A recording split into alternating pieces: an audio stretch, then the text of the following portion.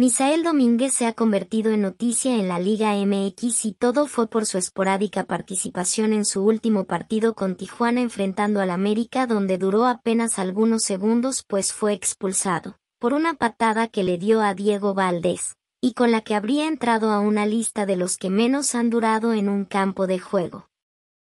El jugador mexicano había entrado a los 68 minutos como parte de la estrategia de Miguel Herrera para intentar buscar el descuento para Tijuana, pero luego de solo 23 segundos, el jugador entró a pelear una pelota dividida en donde no golpeó la pelota pero sí la pierna del jugador chileno lo que hizo que el árbitro no dudara en mostrarle el cartón rojo.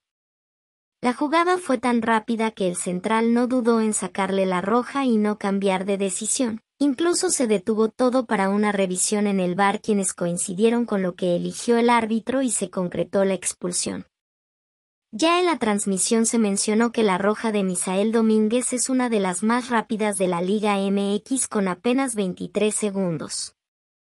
Al final el juego culminó con un 2 a 1 a favor de las Águilas quienes terminaron pidiendo la hora pues con 10 jugadores. Tijuana pudo anotarles un gol y darles un susto.